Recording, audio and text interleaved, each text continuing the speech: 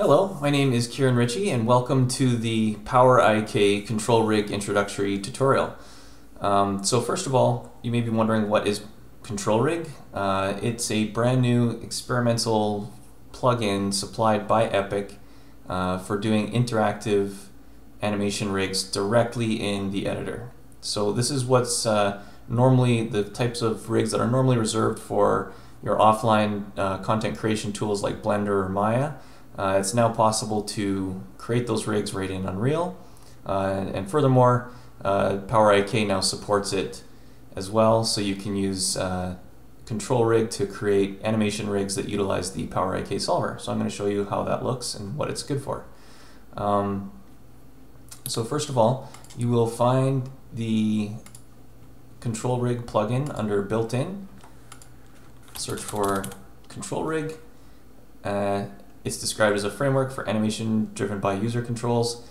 Um, slightly misleading. It's actually, so while yes, you can create uh, user-driven animation rigs, well, what really excites me about Control Rig is the ability to then take that rig and package it up as a node and uh, embed that right in your anim graph. So it becomes an anim graph node that can apply procedural modifications to your pose at runtime uh, in your game. So it's it's more than just a sort of keyframe animation tool, but it's also uh, sort of a full suite of uh, dynamic procedural mod modifications that you can make to your rig. So let me show you first of all a sample of what that looks like running on the spider here. So I'm going to stop this, go into our spider, spider control rig. So you can download this sample project uh, directly from this, the link on the store page. And in here you'll find the spider control rig. So if we pop that open, you have a familiar viewport in the uh, top left here. Down here you have a rig hierarchy view. This is very important. Um, and over here is your rig graph. So I'll kind of go through at a high level uh, how this works. But first let's take a look at the results. So you can go ahead and grab these controls. Um, I've got a control on each of his feet and you can just move those around and you can see we're, we're running the full Power IK solver here, uh, which is how the full body is, is reacting to these IK effectors. Um, I'm using a feature of Control Rig called uh, the Verlet node to get some, some dynamic kind of bobbing going on here. And we actually have a layered setup here that allows you to pose the character with just the feet and then additively move the thorax. So you still have control um, over the thorax. And this is something that is actually really hard to accomplish even in uh, uh, dedicated animation software like Maya or Blender. Um, this kind of layered dynamic control. Um, but Unreal's uh, control rig system makes this totally possible. And with Power IK, you can make really sophisticated um, uh, IK setups that affect the entire body. So you can see here how uh, on a normal IK setup, moving feet effectors does not move the rest of the body, but here we have kind of a nice full body effect. Um, so let's take a look at how that works. Uh, Control Rig in Unreal is built on the paradigm of a stack of executions that happen one after another. So unlike uh, what you might be familiar with in Maya and other programs, there isn't sort of a, an implicit uh, dependency graph evaluation that's going on. Here you really do have to say uh, exactly what steps you want to execute and what order. So it starts at this begin execute node and the first thing we do is just set the root bone location and it's very important to check on this propagate uh, to children. So what I'm going to actually just break this connection. So all our rig does now is take this root control transform and set the root bone transform while propagating that to all the children. So we'll compile that. We'll grab our root control, which you can see here in the rig hierarchy view, and I'm just going to kind of move that around.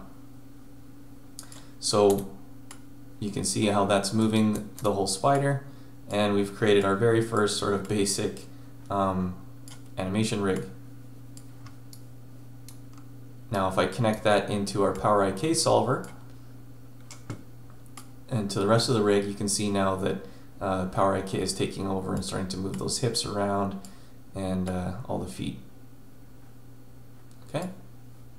At any point while you're making a control rig, you can hit compile. It'll reset the state uh, to the to the starting point. Um, so that's really handy. It also dynamically recompiles if you have auto compile turned on, which allows you to kind of noodle around in the graph, connect and disconnect things. And I found that it's actually very stable, very uh, efficient way to develop rigs. So um, let's just go through at a high level here and take a look at uh, the entirety of this rig, all of the features. And uh, at the very end there, we'll, we'll just kind of go through the setup process so you can see how to get started making these things on your own. Um, so what I've got here is a, uh, thorax control that you can translate and rotate. Um, there's a, a control on the head that you can rotate. You can get in here and grab those fangs and rotate those individually. Um, there's a rotation control on the abdomen. And each foot has its own effector, as well as uh, control for the entire rig.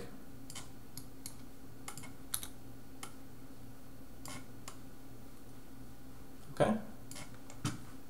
Compile to reset it. And let's go through the rig graph. So as we already saw, we're first setting the root. Then we go through and we get the transforms of all of these uh, foot controls. So these red and blue boxes that you see at the bottom here, these are our foot controls. And I'm using this get control transform node, specifying the name of the control, I'm getting that just the position, and I'm pumping that into effectors on a Power IK solver. With the solver set up to uh, have the character root set to the thorax, and then uh, each of these uh, effector controls running through with the bone set to the tip bone. So these are the bones at the tip of all the legs.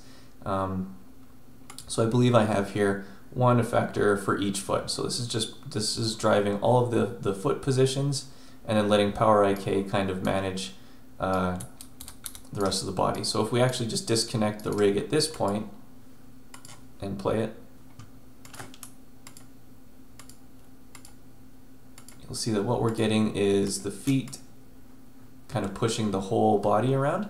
But you notice that that uh, thorax control is no longer following. So it was at a later stage in the execution where we actually run another Power IK solver uh, using the output of the first one to drive the control uh, so that this control actually, you know, ends up where it belongs and then from there you can animate it in a sort of additive fashion. And that's what happens right here. So we're going to connect the execution up um, what we do here is get the thorax bone. So this is the transform of the thorax, that, that bone at the uh, body of the, of the spider, at the point at, right after the first Power IK is solved. So after Power IK has moved all the feet positions and updated the thorax position, you've got a brand new pose with the spider sort of leaning or, or reaching for its feet positions. Then we get that thorax position and move the thorax control, which is a separate uh, transform based on the, the result of that first solver. Um, here I'm using the Verlet node, uh, which comes with a control rig, and, and that's what adds sort of some damping and bouncing um, on top of that thorax control. And then I'm setting another dummy transform called the thorax effector, and I'm setting that transform. So we're kind of taking the result of the first uh, solver, copying that onto a dummy, um, running it through a Verlet filter, and setting a final effector transform. And that transform then goes into the second Power IK solver here, which has just one more effector. So in the first one we had uh, 0 through 7, we had 8 effectors, one for each foot. In this solver we have 0 through 8, so we have one for each foot, which is the same positions as the first solver. But this eighth and final one takes the thorax. So in that way, we're able to grab that control, which is moving the effector, and have control over the thorax in an additive fashion. Okay.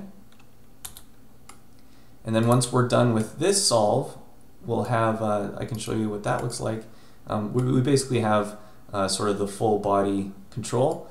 Um, since I've disconnected the, the rest of it, we're not going to have any control over the head or fangs or anything but those are all relatively simple. So after after the thorax is moved, then then you know we would have the head control. That's why this isn't working. So we can connect that back up.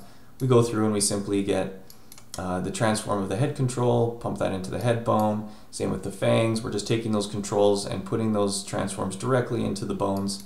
Um, and then finally, I have the I'm doing the same thing on the abdomen. uh, take that control transform and pipe it into the bone, but I'm going again going through one of these Verlet nodes, and that's what gives you that extra layer of wiggle on the abdomen. So that abdomen is wiggling uh, relative to its parent, which itself is wiggling relative to the feet. So it's kind of a, a nice way of building up this layer where you know the feet are driving the thorax through a Power IK solver, and then the thorax is driving the abdomen, and you get this really kind of lively dynamic secondary motion. So in the next video, I'm going to show you how to uh, get started setting something like this up. Thanks for watching.